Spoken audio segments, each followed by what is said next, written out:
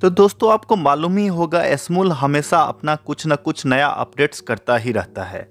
तो चलिए, आज के वीडियो में हम आपको बताएँगे कि एसमूल के नए अपडेट्स में आपको कैसे साउंड के सेटिंग्स करना है, जिससे आउटपुट का रिज़ल्ट फुल एचडी और ओरिजिनल स्टूडियो जैसे आपका आवाज़ आए।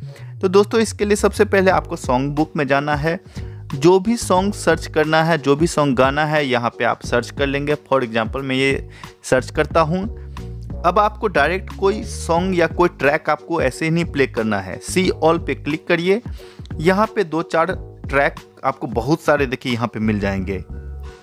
तो आपको टॉप में जो आप चार पाँच देख रहे हैं, उनको प्ले कर लेना है आपको। कुछ इस तरह से ऊपर से प्ले करेंगे।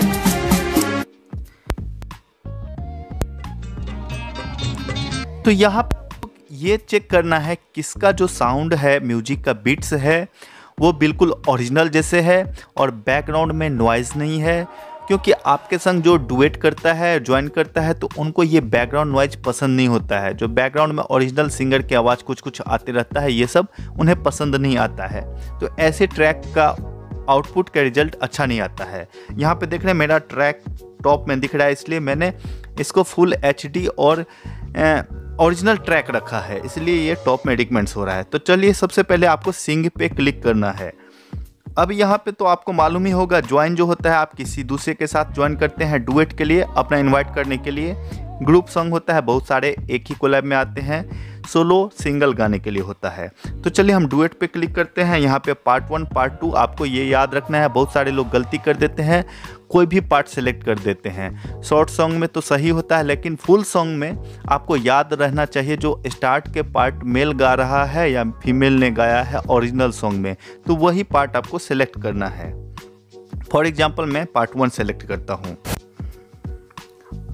अब मैं आपको यहाँ बता दूँ क्या क्या फ़ंक्शन है। सबसे पहले आपको अगर वीडियो कोलैब करना है तो याद रखें, डायरेक्ट कैमरा ऑन करके मत गाइएगा। इससे क्या होगा? आपका ध्यान कैमरे पे रहेगा, ठीक से सुरताल नहीं लगेगा। या आप गाने में मस्त हो जाएँगे तो एक्सप्रेशन नहीं बनेगा। यानी कि दोनों काम एक साथ नहीं हो सकता है।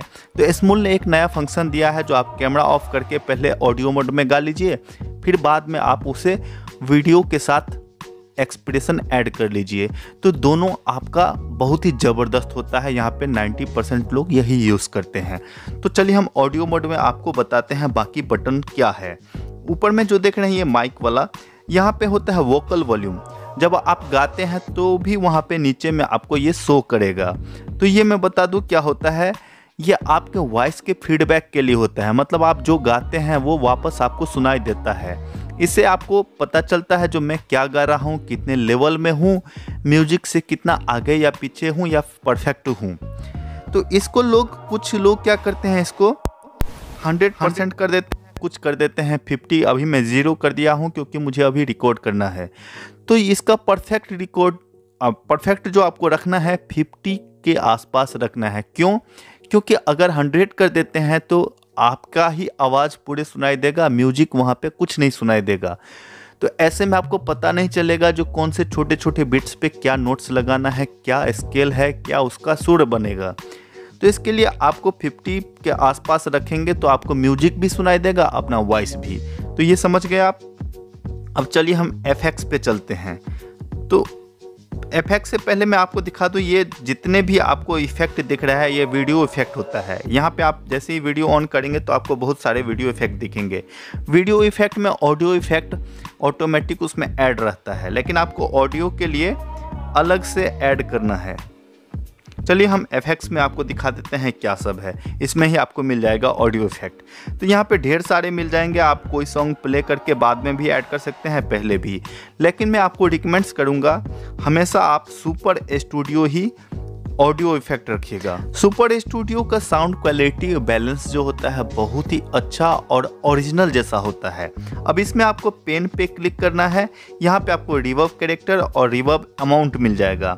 तो मैं आपको बता दूँ रिवर्व कैरेक्टर होता है वॉइस के कैरेक्टर जो होता है उसको साइनिंग देने के लिए होता है। और रिवर्व अमाउंट जो होता है आपके वॉइस के वाइब्रेशन यानी कि गूंजने के लिए होता है। तो कुछ लोग इसको कहीं भी रख देते हैं। मैं आपको बता दूँ इसको थोड़ा सा आपको 50, 60, 70 के बीच में ही आपको रखना है म्यूज़िक के हिसाब से। ठीक है? और रिवर्ब अमाउंट को कभी भी 50 से ज़्यादा मत रखिएगा। इससे क्या होगा? आपके वॉइस बहुत ही ज़्यादा गूंजने लगेगा। मतलब ऐसे लगेगा जब कुएँ में आप ज़ोर से बोलते हैं तो रिटर्न आता है ना वॉइस वही आपको हो जाएगा।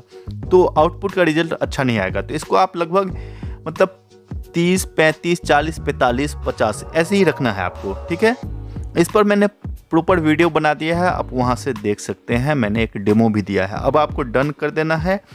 अब आपको क्या करना है? इसके बाद सॉन्ग आपको स्टार्ट कर लेना है और गाना है। अब चलिए मैं एक सॉन्ग रिकॉर्ड कर लेता हूँ, उसके बाद मैं आपको बताता हूँ।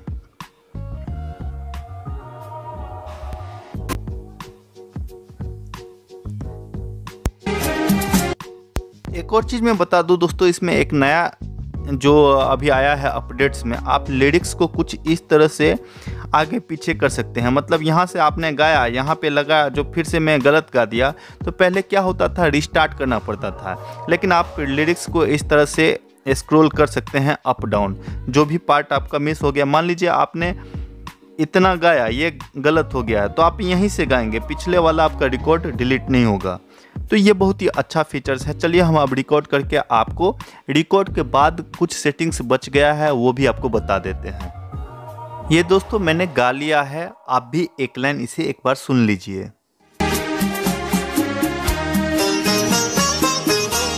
दिल तो ये चाहे हर पल तुम्हें हम बस यूँ ही देखा करें। अब मैं आपको सेटिंग्स बताता हूँ। क्या क्या है? देखते हैं साउंड मतलब गाने के बाद बहुत सारे नया नया सेटिंग्स आ गया है। तो सबसे पहले ऊपर में ये देख रहे हैं।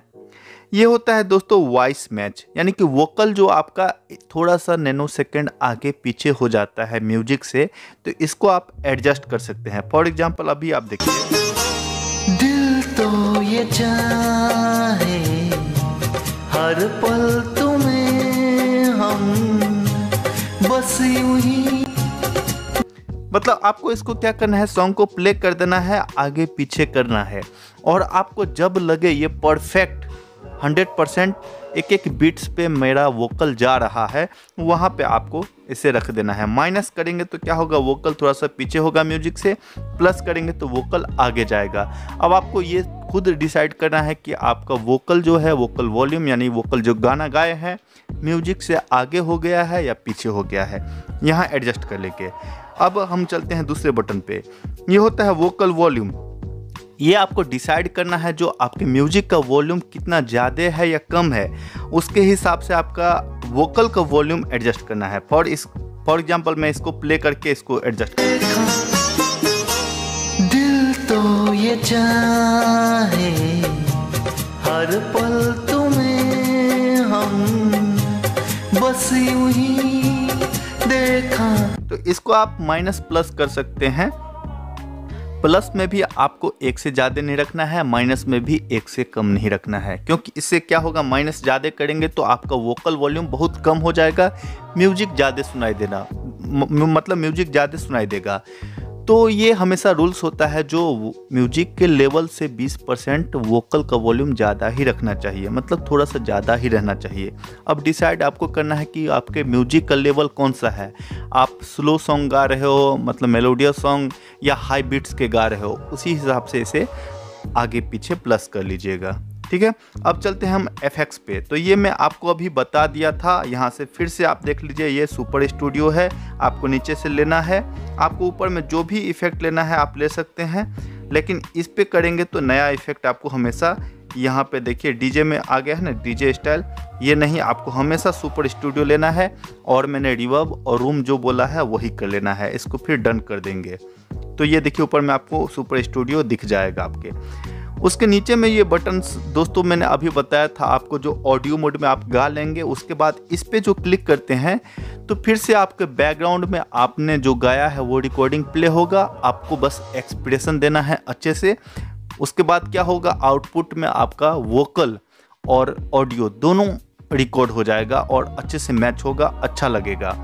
तो उससे आप वीडियो को आप बार बार रिपीट भी कर सकते हो। इससे आपका वोकल वाला जो मतलब ऑडियो होगा, वो डिलीट नहीं होगा। तो वो भी आप यहाँ से कर लीजिएगा।